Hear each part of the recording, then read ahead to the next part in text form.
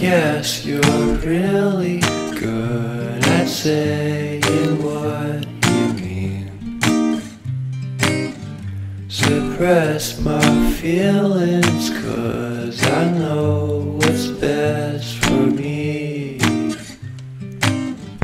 Feel short of confidence,